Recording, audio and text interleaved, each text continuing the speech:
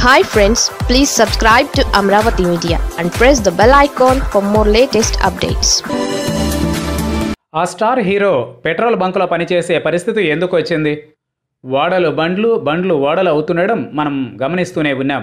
కెరీర్లో ఓ వెలిగి వెలిగి ఉన్నత స్థానాలలో నిలిచిన వారు కూడా కొన్ని పరిస్థితుల వలన అనేక ఇబ్బందులు పడ్డారు. నటి నటులు పడిలేచే కెరటంలా హిట్ ప్లాప్లను ఒత్తిడిని పరాజయాన్ని అన్నిటినీ తట్టుకుంటూ కెరీర్ను కొనసాగిస్తారు. ఇంకొందరు ఎగసపడిన కెరటం వల్ల తమకు వచ్చిన ఫేమ్ని అభిమానాన్ని తక్కువ సమయంలో కోల్పోయి కెరీర్ను సంపదను కోల్పోయి అయ్యో పాపం అనిపించేలా జీవిస్తారు. ప్రేమదేశం హీరో అబ్బాస్ జీవితం పడిలేచిన కెరటమనే చెప్పాలి. ఆయన జీవితం ఎలా మారిందో తెలియాలంటే ఈ వీడియో చూడాల్సిందే. అబ్బాస్ ఈ పేరుకి ప్రత్యేక పరిచయాలు అక్కర్లేదు. యూత్లో తిరిగిలేని క్రేజ్ సంపాదించుకుని హ్యాండ్సమ్ లుక్తో అమ్మాయిలలో ఫాలోయింగ్ సంపాదించుకున్న అబ్బాస్ తరుణ్ ఉదయ్ కిరణ్ వడ్డే నవీన్ అబ్బాస్ అజిత్ అరవింద్ స్వామి ఇలా చాలామంది స్టార్స్ అప్పట్లో స్టార్డమ్ అందుకున్నారు. ముఖ్యంగా వీరిలో తెలుగుతో పాటు తమిళ ఇండస్ట్రీలో కూడా ఫుల్ పాపులారిటీని సంపాదించుకునే వారిలో అజిత్ అబ్బాస్ అరవింద్ స్వామి ముగ్గురు టాప్. ప్రస్తుతం ఈ ముగ్గురిలో అజిత్ స్టార్ హీరోగా రాణిస్తూ ఉండగా అరవింద్ స్వామి విలన్ పాత్రలలో అదరగొడుతున్నాడు కానీ అబ్బాస్ మాత్రం సినిమాలకు దూరంగా ఉంటున్నాడు. అయితే అమ్మాయిల మనస్సు కొల్లగొట్టిన అబ్బాస్ సినిమాల నుంచి దూరమైన తరువాత అనేక కష్టాలు పడ్డాడట. ఈయన హెయిర్ స్టైల్కు చాలామంది ఫాలోయర్స్ ఉండేవాళ్ళు. తొలి సినిమాతోనే సూపర్ ఫ్యాన్ ఫాలోయింగ్ సొంతం చేసుకున్న అతి తక్కువ మంది హీరోల్లో అబ్బాస్ కూడా ఒకరు. పంతొమ్మిది వందల తొంభై ఆరులో వచ్చిన కాదల్ దేశం సినిమాతో పరిచయం అయ్యారు ఈయన. ఆ సినిమా సూపర్ హిట్ కావడంతో వెనక్కి తిరిగి చూసుకోలేదు. వెస్ట్ బెంగాల్లోని హౌరాలో పుట్టిన అబ్బాస్ తమిళ తెలుగు సినిమాలతోనే పాపులర్ అయ్యారు.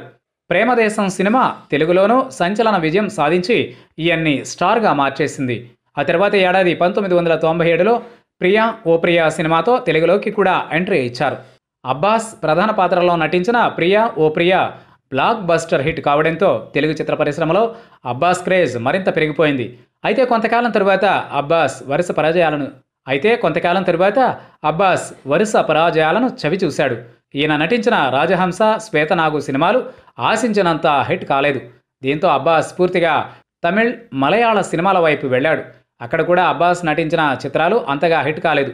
దీంతో ఆయన సినిమాలకు దూరంగా న్యూజిలాండ్ వెళ్ళాడు. అక్కడ కొంతకాలం పెట్రోల్ బంకులో పనిచేసి బిల్డింగ్ నిర్మాణానికి సంబంధించిన పనులకు వెళ్ళాడు. ఇక అక్కడ పనిచేసిన అనుభవంతో ప్రస్తుతం అదే రంగంలో కొనసాగుతున్నాడు. ఇటీవల ఓ ఇంటర్వ్యూలో పాల్గొన్న అబ్బాస్ తన జీవితంలో ఎదుర్కొన్న కష్టాల గురించి చెప్పుకొచ్చాడు. భవన నిర్మాణ కార్మికుడిగా కూడా పనిచేశాడు. అప్పుడే అక్కడ కన్స్ట్రక్షన్ పనిపై పూర్తిగా పట్టు సంపాదించాడు. భవన నిర్మాణ కార్మికుడిగా కూడా పనిచేశాడు. అప్పుడే అక్కడ కన్స్ట్రక్షన్ పనిపై పూర్తిగా పట్టు సంపాదించాడు. మెల్లగా బిల్డర్గా మారాడు. క్రమంగా న్యూజిలాండ్లో మంచి బిల్డర్గా పేరు తెచ్చుకున్నాడు. అక్కడే స్థిరపడిపోయాడు. జీవితంలో సక్సెస్కు షార్ట్ కట్స్ ఉండవు. అదేవిధంగా ఒకచోట దారులు మూసుకుపోతే మరొక దారి తెరుచుకుంటుంది. దానిని అందిపుచ్చుకుని జీవితంలో ముందుకు వెళ్ళడమే ముఖ్యమని అబ్బాస్ జీవితం చూస్తే ఎవరికైనా అనిపించక మానదు. ఒకప్పుడు నటుడిగా మోడల్గా అభిమానులను సొంతం చేసుకునే అబ్బాస్ ఇప్పుడు మోటివేషనల్ స్పీకర్గా మారిపోయారు. ఇది కూడా ఓ ఉద్యోగమే. ప్రస్తుతం న్యూజిలాండ్లో ఇదే చేస్తున్నారు ఈయన. మోటివేషనల్ స్పీచ్లు ఇస్తూ ఎవరికి ఏ సలహాలు కావాల్సినా కూడా తనదైన శైలిలో అందిస్తున్నారు అబాస్.